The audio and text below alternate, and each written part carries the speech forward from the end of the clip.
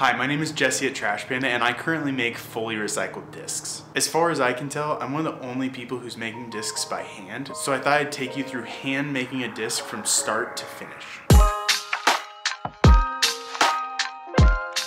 I get questions all the time about my process, how hard it is to hand make a disc, and how easy it would be for someone else to start up something like this. And well, there's a short answer and a long answer. The short answer it's hard as hell and it takes a lot of time. The long answer, well, let's get into it.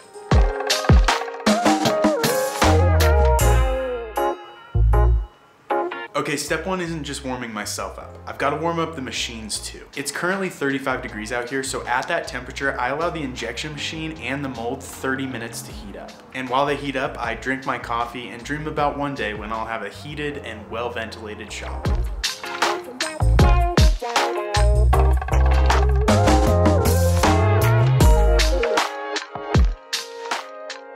As that heats up, if you're unfamiliar with injection machines, here's a simple description of how they work. Basically, you have a barrel and a plunger. These two are actually within a hundredth of an inch, so they fit perfectly. You also need some type of heating element. This one slips perfectly right onto the barrel. The idea of an injection machine in its simplest form is that plastic goes in, is melted, and then pushed through into a mold. So after everything heats up, I'll add plastic, it'll melt, I'll attach the mold to the bottom of the barrel, and then I'll manually push the plastic through the barrel and into the disc mold. Simple. All right, while that's heating up, I can't stress this enough, you gotta be safe. We're talking about melted plastic that's 260 degrees Celsius and tiny plastic particles in the air. So I use welding gloves and a heavy duty respirator to make sure I'm safe the entire time. So the barrel is heating up, but the plunger is still freezing cold. So I wanna get that inside the barrel as soon as I can. That way it heats up as well.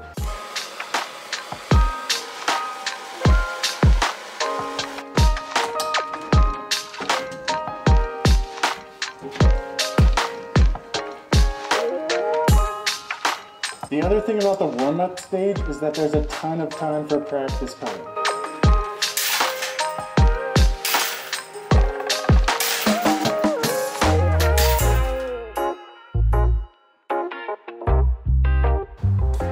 Okay, once we're ready to add the plastic, we measure out a shot size of 180 grams.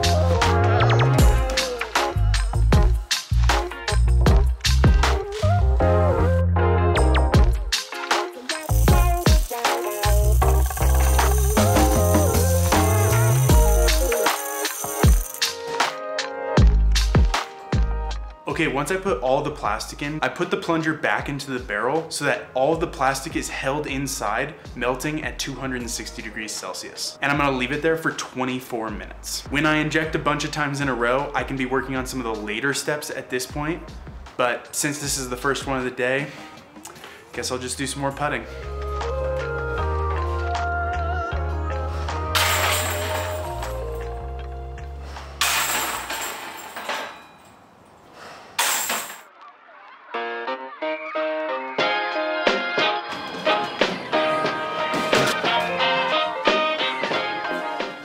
Okay, this is the trickiest part, followed by the hardest part.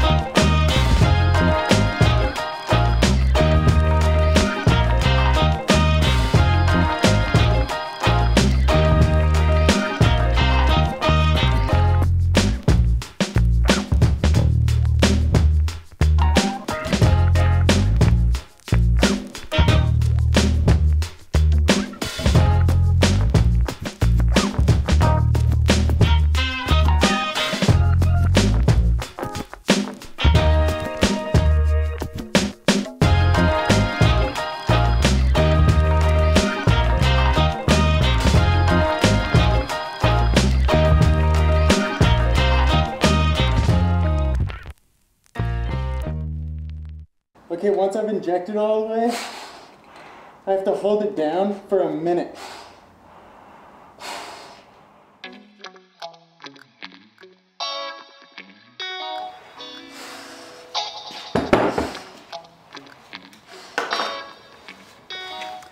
Okay, this is by far the hardest part of the process. I now have to get the plunger out of the barrel while this cools. This is gonna cool for about 10 minutes, so I've got time but it's basically a deadlift, some shoulder press. It's all the workouts. It's, it's hard.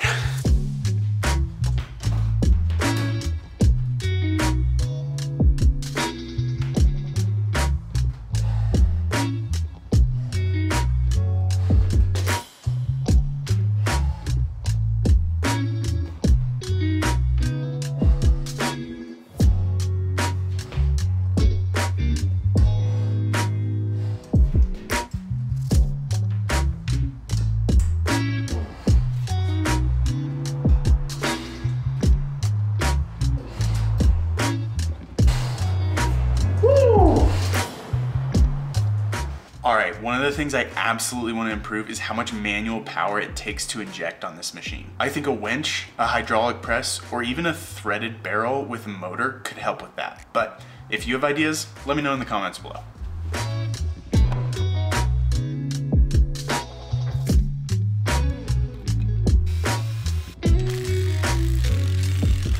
Okay, once I've opened the mold, I let it cool for four more minutes. Then I use a knife, pry it out, and continue to let it cool for another 20 minutes.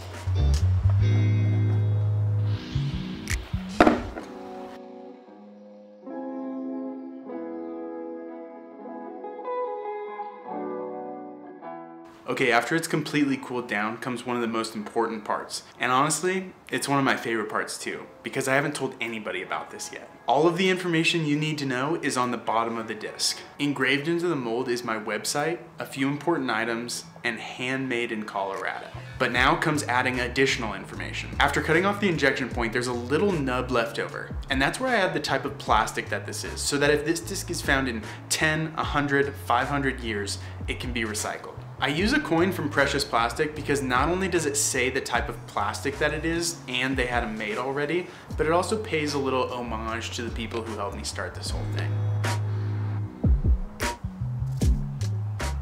Additionally, there's a blank grams and a number blank. For both of those, I use these steel numbers and just hammer them in. The gram side is pretty obvious, but the number blank is because I'm gonna number every single disc. So you might end up with number 10, 101, or 2,342. Who knows?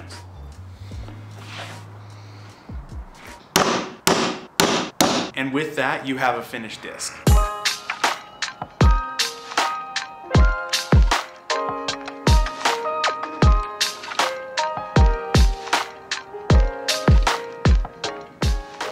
This video was edited down kind of like a cooking show, but the real time it takes once everything's heated up to make one single disc is 30 minutes. To be honest, it actually takes longer than that. And yes, the majority of that time is just waiting for the plastic to heat up or cool down. But if I'm making a bunch of discs in a row, I can work on some of the later steps for one disc while the plastic is melting for the next one. That means that stacked together, it averages out to about 30 minutes. So with one machine, I can make two discs per hour. With two machines, I could make four discs per hour. And with three machines, well, I don't have enough arms for that. Now, I know what you're immediately gonna ask. How the hell do you plan to scale something when the production rate is so slow? And that's a great question, but I'm not sure I'm the right person to ask it to. For now, making these discs is less of a business and more of a craft for me. Eventually, I'll work on scaling, better systems, and even better tooling. But I'll cross those bridges when I get there. But hey, since you've stuck around this long, I'll let you in on a little secret. One of my long-term goals is to have a super dope space with a ton of injection machines where you can come and make your own recycled disc. Wouldn't that be so rad? Anyways, oh my gosh, I totally forgot the most important step. Once you finish making the disc, you have to go out and throw it. Thanks for watching. Please subscribe to support the channel, and we'll see you next time.